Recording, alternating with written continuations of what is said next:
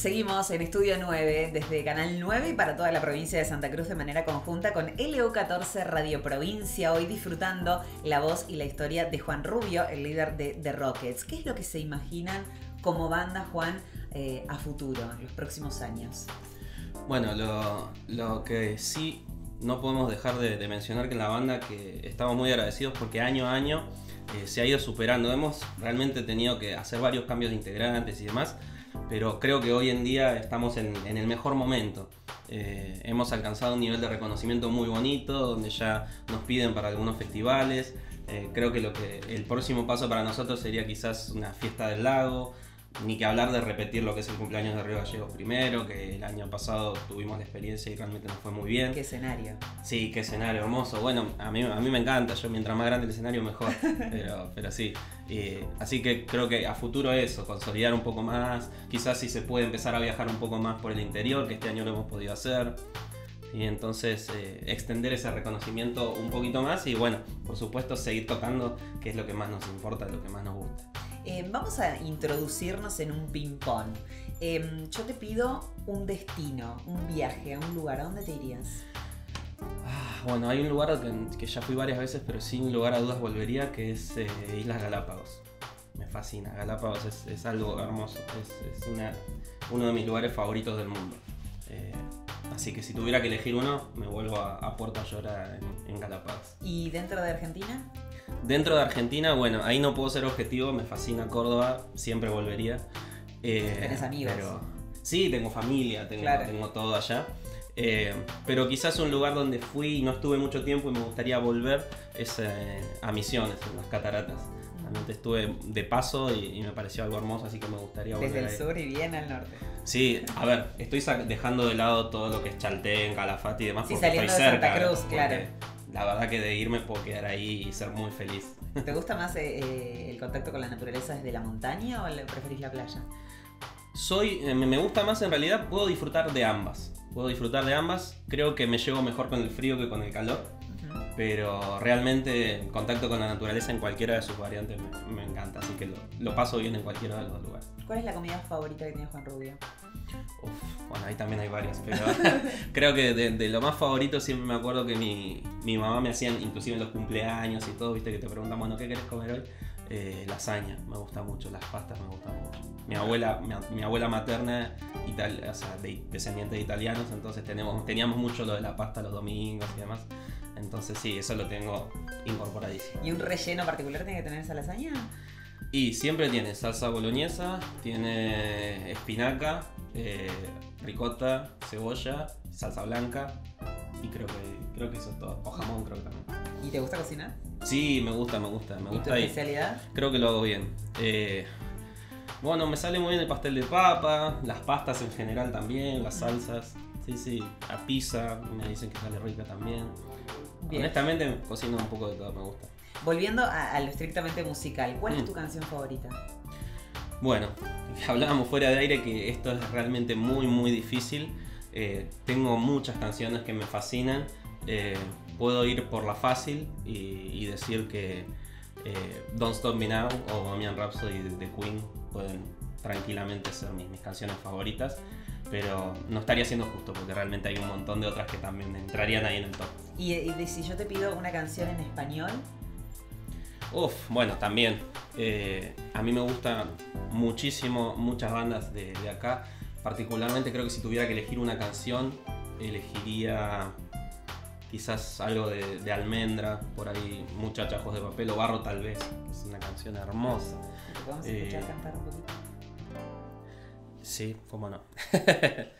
Em, ya lo estoy queriendo ya me estoy volviendo canción, barro tal vez, porque esta es la corteza donde el hacha golpeará, donde el sueño se fue para callar.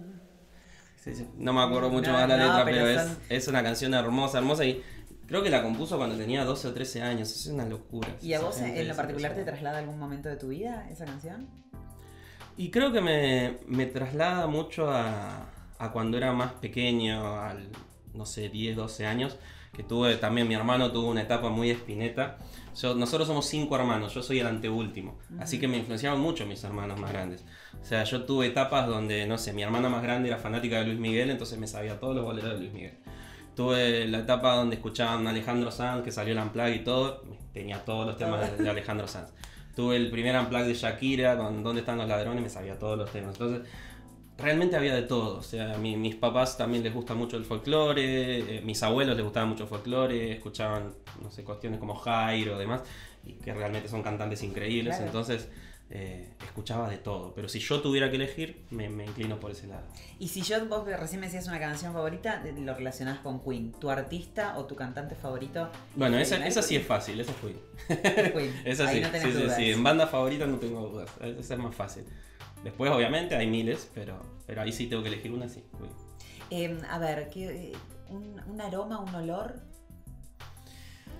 Y ahí puede ser el aroma del, asado en, la casa de mis abuelos maternos en Córdoba, porque era, era el, aroma de, la juntada, porque era los domingos nos juntábamos a comer el asado o pastas, dependiendo, pero me acuerdo siempre del asado porque estaba lindo y hacíamos afuera, eh, y es, es genial.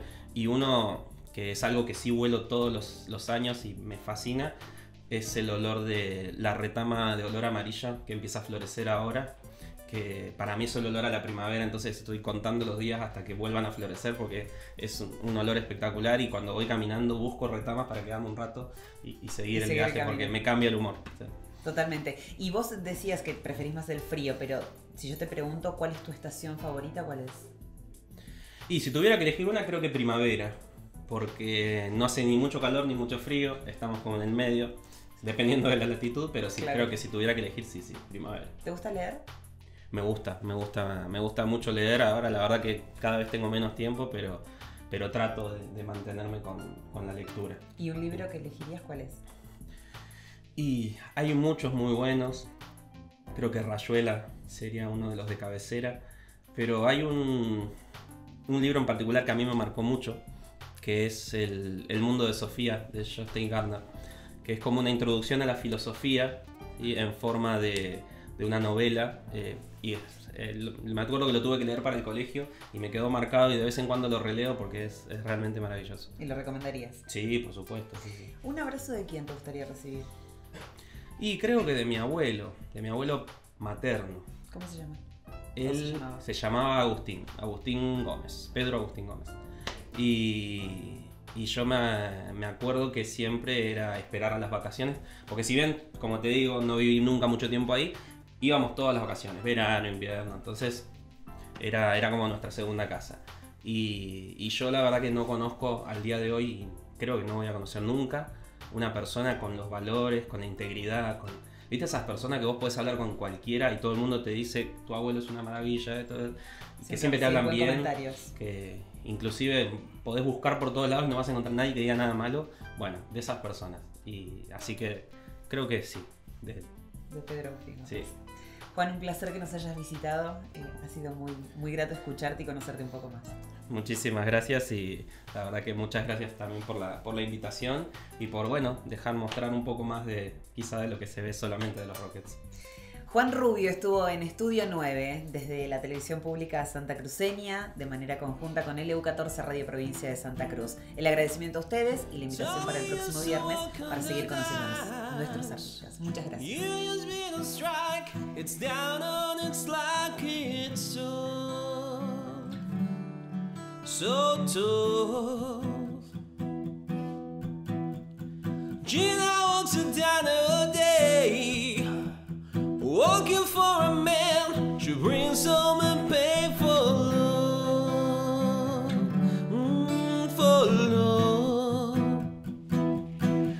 Says we gotta hold on to what we've got.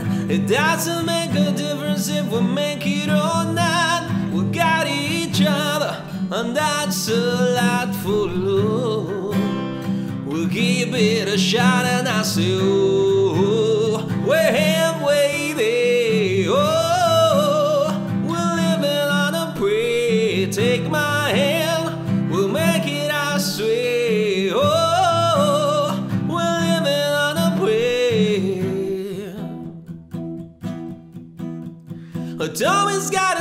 29. Now he all a man. We used to make it life so tough. Mm, it's tough. Gina dreams of running away. When she cries in the night, Tommy whispers, Baby, it's okay.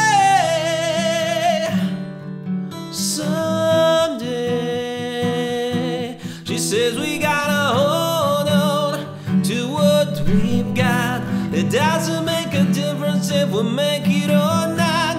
We got each other, and that's a lot for love. We give it a shot, and I say, oh, we're halfway there. Oh, we're living on a prayer. Take my hand, we'll make it our sweet.